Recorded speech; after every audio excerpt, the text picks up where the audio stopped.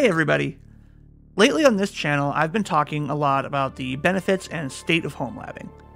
I think it's time to fire up a shell and get some work done. So today I'm going to be setting up my newest project, a Raspberry Pi Kubernetes cluster. If you aren't familiar, Kubernetes is an orchestration platform for containers, not unlike those that you would run in Docker. This allows you to have highly available applications that uses shared storage and can manage multiple copies of an application behind a load balancer. Now, I'm pretty new to Kubernetes, and I will not be deploying what I would consider to be a beginner friendly method.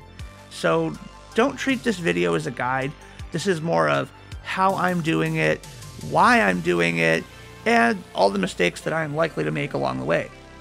For reference, before we get too far, I will be using K3S, which is the lightweight version of Kubernetes, and I will be deploying as much as possible using only Ansible. Why Ansible? Well, one of my goals for my 2024 Home Lab is to utilize more of the fundamentals of infrastructure as code. Meaning that rather than configuring each independent server and system within my lab, they will instead be defined by some code that is stored as a manifest or a YAML file that can be called by the relevant tool to provision the resources needed for me. This has a few benefits. First, everything is repeatable. During any part of the process, I can reimage these pies and I can redeploy the exact steps taken to configure them as they were. It also means that all steps are already documented. I never have to guess if I did something as it will be clearly defined in the code. Now, there are readily available and very well made Ansible projects out there for deploying Kubernetes and pre configuring it with all the necessary features to have a great experience. Techno Tim did this exact thing in Ansible and released it for your use. If you're looking to deploy a proper K3S lab with Rancher and Metal LB, I will link that repo and video in the description. But in my case, I don't know why I would want Rancher or Metal LB over what comes included in K3S. I don't know that much about K3S to make that decision. So I'm going to install the most minimal configuration and build up to what I need for my environment. This is definitely the long way around, and I may end up at the exact conclusion that Tim did. Heck, I may even end up using his playbook at the end of this. But for today, our goal is to provision these pies, get them into a K3S cluster, and, and not necessarily run any workload yet. First is the easy part hardware assembly. I had a few pies on hand that I already planned to use for this project. Now you can easily just do this in VMs, but I really wanted to do this in hardware as the whole point of Kubernetes is the orchestration of hardware across failure zones such as physical hosts and the ability to scale across resources. It just felt more real to me to do it this way. So I added a couple more Pi 4 4GB models to my collection and some new PoE hats and got to assembling. The rack mount I'm using is from Uctronics, and so are the PoE hats. I've had good luck with these, and so I will continue to use them. I have links to the hardware I used in this video in the description as well. Now, the pies that I have on hand were using an older PoE hat that did not include a fan, so I printed these adapter brackets and added a pair of 5 volt fans. The new ones already included a 5 volt fan. Uh, you can see the difference here. This setup will be in a cool room with moderate airflow, but I wanted to add some direct air current across the CPUs. I ran into one hiccup along the way with one 5 volt fan that was trying to start the Circuit Slinger space program with how much thrust it wanted to generate, but the other four in the pack were fine. I guess this is the risk of using cheap electronics. Oh well. With the pies racked up, it was time to add storage. I intend to use Longhorn, which is a local storage provider for K3S, meaning each pie will have its own storage, and then Longhorn will keep copies of my data across any number of the pies with storage. This way, should I lose a node, I can still keep my data redundant on the other nodes. For this, we will be using these low profile flash drives. There should be enough space for what we are intending to do. Next, I flashed the SD cards using Pi Imager. We will be using the 64-bit Ubuntu server. I intend to manage these headless, so we don't need a fancy GUI, and I went ahead with the long-term service channel, just personal preference. After adding my public key and setting the host names, it was time to flash the image to the pies again and again and again. Alright, now for the moment of truth. I connected all the pies to my PoE switch, and nothing. Okay, no need to panic. I logged into the switch and realized I needed to turn on PoE for each port. I keep these disabled by default until I know I'm connecting something to PoE. Next, I monitored the DHCP server on my firewall and saw three come online. Well, that's not good. A quick check of the rack, and sure enough, one of the Pis is not getting a link light. I tried swapping the cable, the port, even reseating the PoE hat. The power light is on, the fan spins, but it's not getting a link. I even re-imaged the SD card, and nothing. Unfortunately, I cannot find my adapter to hook this up to my KVM, so that's a problem for another day. We could still get this cluster going with three nodes. Back to the firewall.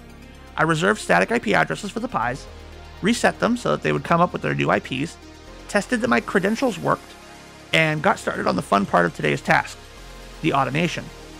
First, I'm going to run my Netbox playbook, this will just add descriptions and manual DNS information of these nodes to Netbox and Unbound DNS that I run on my local network. I'm working on a playbook that will allow some more network automation between OPNsense and Netbox, but I'm waiting on an API update in OPNsense that's supposed to release later this year. You know that I will be making a video on it as soon as I have it at least somewhat operational. So, these playbooks will only do the required operations.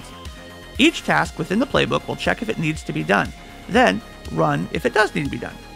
And looking at the output of our terminal here in Visual Studio Code, we can see that the yellow tasks are for those that have changed, green are those that did not need to be completed, and red will be for those that failed. This will depend on how you write your playbook, though. This is why I try to write each task in a way that it checks for the state, presence, or requirement of the task before it runs. For example, I could write a task that just says run apt-get install nettools, but this means that this task will run each time the playbook runs, and it will take longer.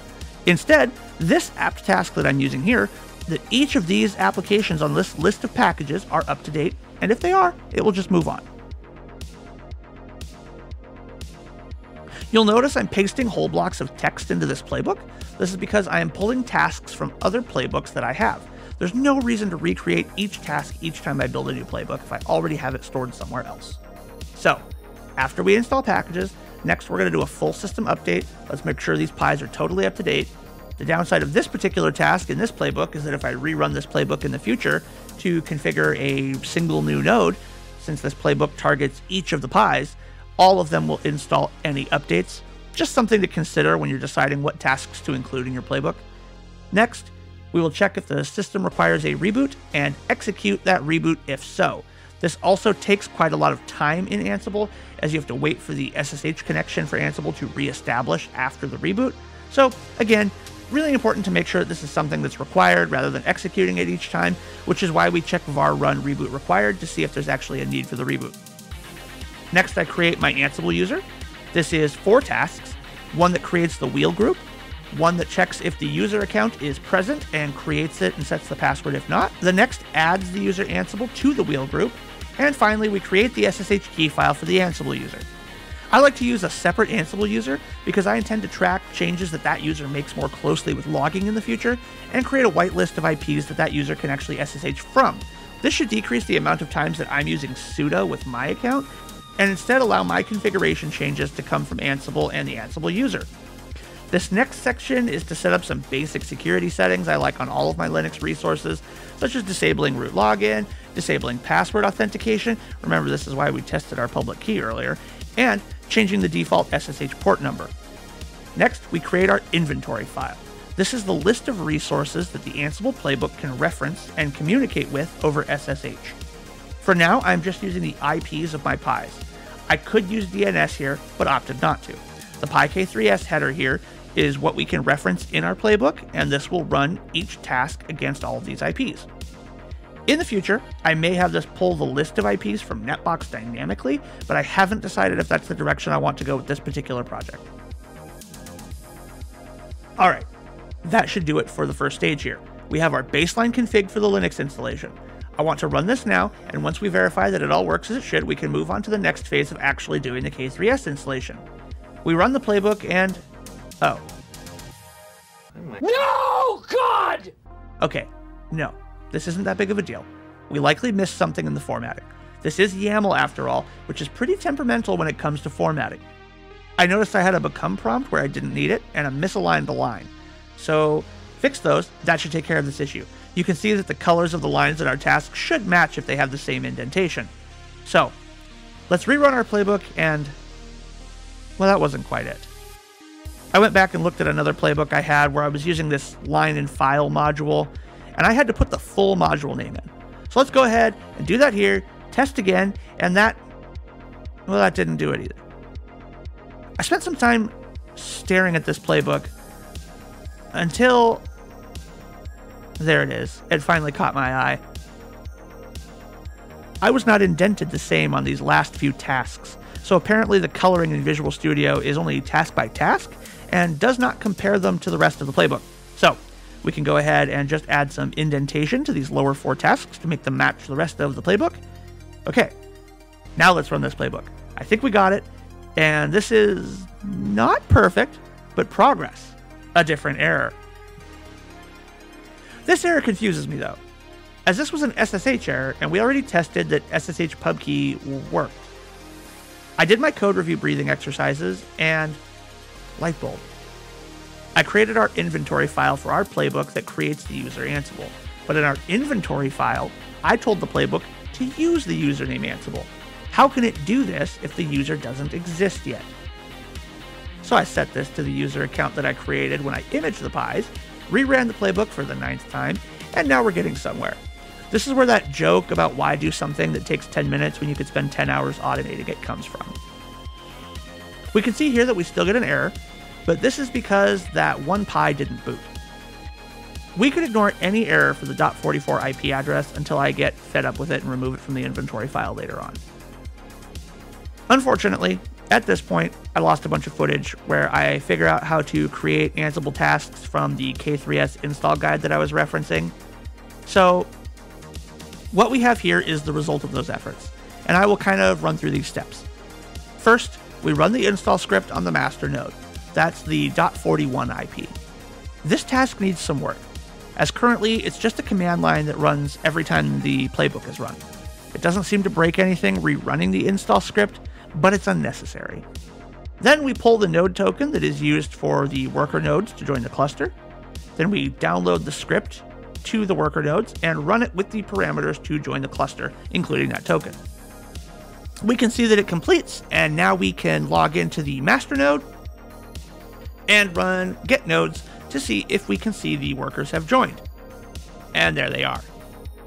It's also worth noting that we designated a specific K3S version as I think I may want to use Rancher to manage this, but Rancher has limited version compatibility, so I wanted to make sure that we were on a version that falls into the list of compatible versions. So that's going to do it for today. We have our K3S cluster up and running. We can see that they are all joined and communicating properly, and we now have a playbook that we can use to always get back to this stage should something I do in the next part mess this up, which seems highly likely. That's it for today. Thanks for watching.